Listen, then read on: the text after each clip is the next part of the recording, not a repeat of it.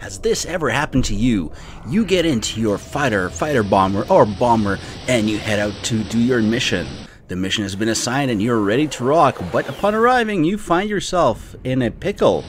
Well, you want to release the missile or bomb with your pickle button, but you realize that you haven't subscribed to this channel, so make sure you subscribe to the channel.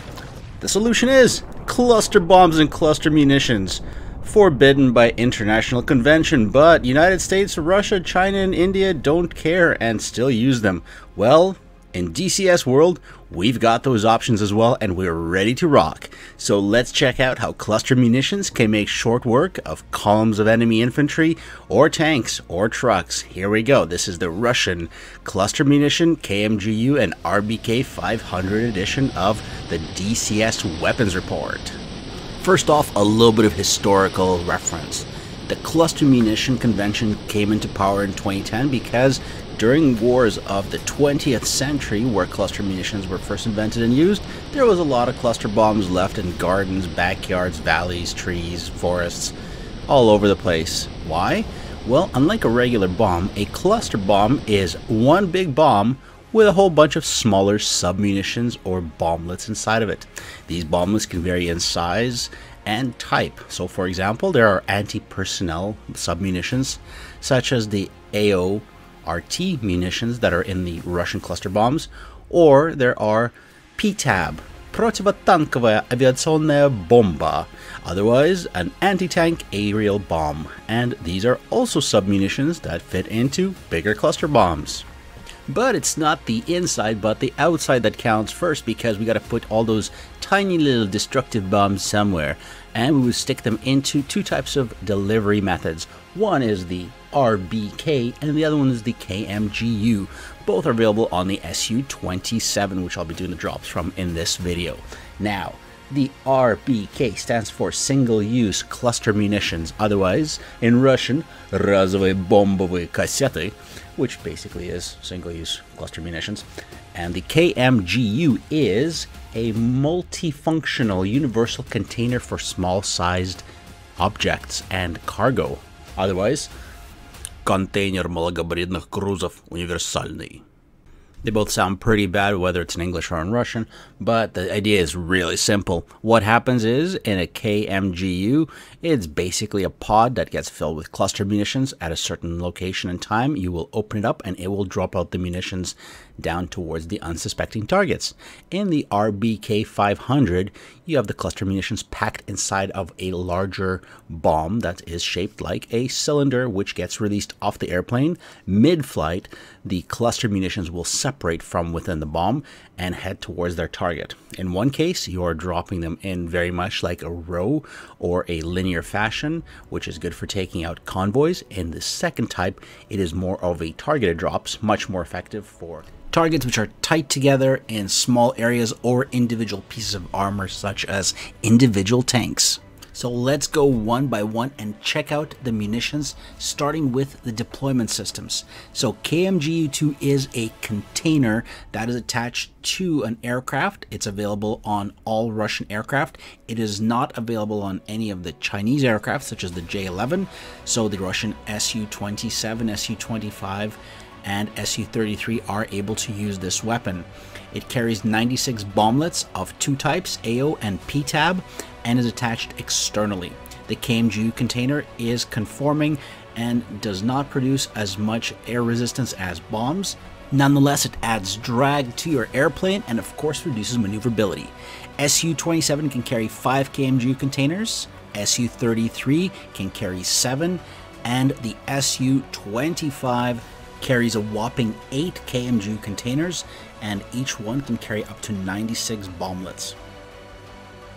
Let's talk deployment. The KMGU is switched on by going into mode 7, which is air to ground attack, and holding the weapon release button on a Russian plane. While the weapon release is active, you will see a circle above your pip in the center of the HUD. You keep your pip in the center of the circle as you go in for the attack. The weapon will auto release. You do not need to pull on the trigger again. Just keep holding it through until you hear the clicking sound of the payload being released from the KMG. Release mm-hmm. should be executed at at least 300 to 500 meters, that's 900 to 1500 feet, to ensure that you are avoiding any sort of after effect blasts. Although the blast from a KMGU is much smaller than that of a 500 pound bomb, and that is because you have smaller bomblets which are spread across following the path of your overflight. Therefore, the destruction is spread out and damage is carried out across a longer range. The more KMGU containers you have, the longer the path of destruction will be. However, you must keep in mind that every plane is limited to how many KMGUs you can carry.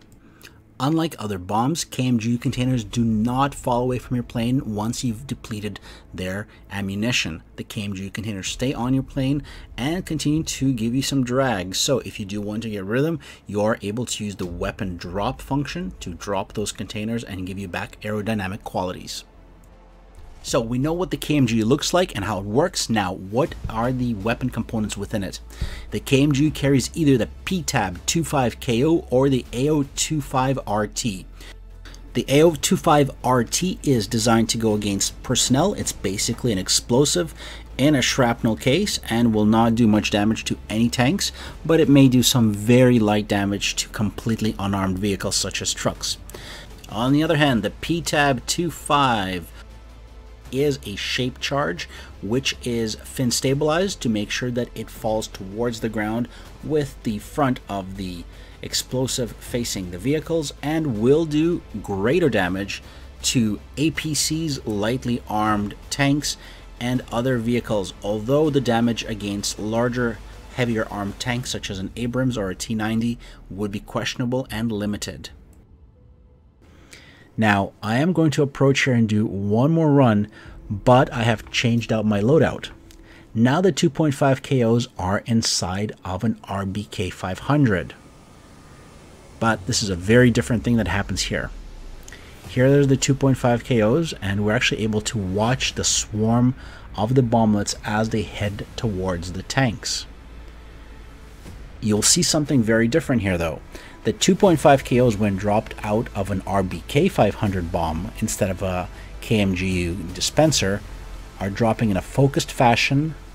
They're not doing a strip along the ground like the KMGU does, but they did quite a bit more damage to the Abrams because more of them hit on target in a central area. So in this case, we're switching over to the RBK 500 that you just saw deployed, and I'm going to be using the RBK 10.5 submunition. So RBK 500, PTAB 10.5. The 10.5 is the preferred submunition to be used against harder targets such as tanks and other armored vehicles, which do have a level of armor. However, there are less of them inside of each bomb.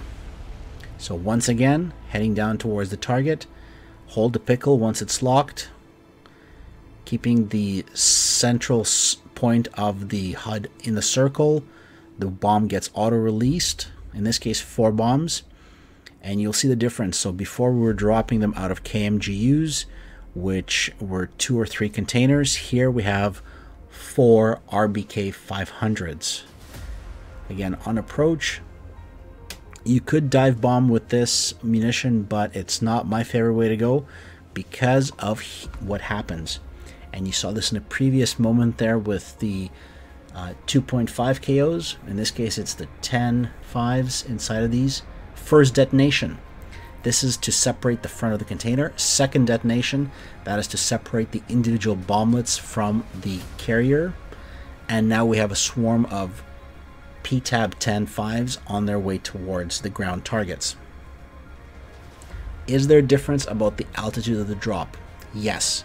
If you are too low, the first and second separation will not happen and you will not do any damage to your target. If you drop it too high, the bomblets will disperse a bit more, but not sufficiently to make a difference. A drop of 1,000 to 1,500 meters is preferred.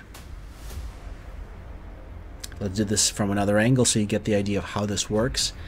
I'm technical, so for me it really helps to see how these bomblets work and what they do.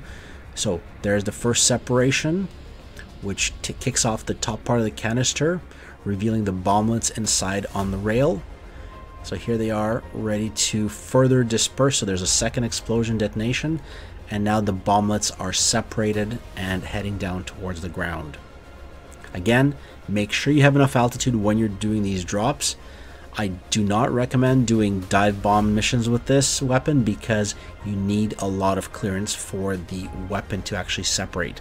Level flight at at least a thousand meters. You can go a little bit lower as well, but I would say usually about a thousand meters for me is what I prefer to do a drop. So that's 3,000 feet for those who are using imperial measurements for some reason on a Russian plane. Now, as you can see, the containers are left behind and the bomblets are on their way down towards the ground. There is definitely a consistent swarm of them. They do not leave that long horizontal strip along the ground of death and destruction. Rather, they form almost a circle or an oval when they hit the ground. And we have our first detonation. First couple of bomblets hit the top of the first Abrams, doing 48% damage. And then the second Abrams got to about 30% damage. And as you can see, there is your effect from the PTAB 10.5s. If you are going to use the PTAB 2.5, do not try to target Abrams or other hardened vehicles. You're not going to have much luck. Ground-based airplanes, perfect. Ground-based trucks, perfect. APCs, sure thing. But you do need something with a bit more kick for a tank. As you can see here, the first PTAB hit the tank in the turret area and that tank is out of commission and the rest of them hit the second tank.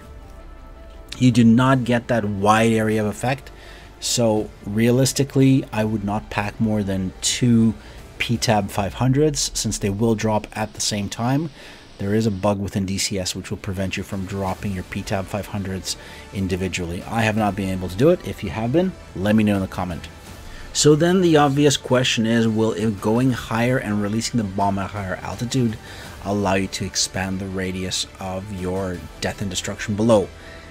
No. So here I've climbed to 3,900 meters, dropped the P-tabs, and they separated just like they should. Looks like at a much higher altitude, definitely a much higher altitude, but despite that, they actually still formed a circle with about the same radius so not much of a difference.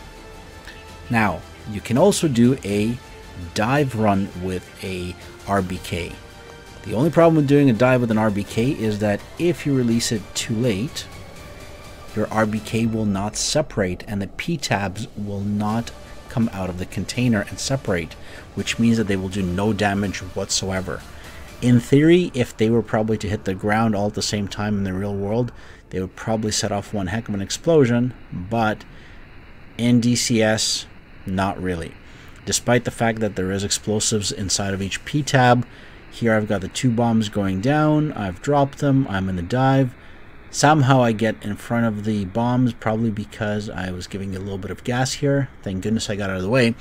But the P-tabs do not properly separate out of the weapon and do not disperse. If they had dispersed, those trucks would have been goners, but because I dropped the bomb too low, the actual individual munitions did not separate. And as a result, no kill, no joy, no fun. So there is your video. Let me know in the comments if you've had weird bugs with this weapon as well. Hopefully you like this video, give it a thumbs up, and subscribe of course.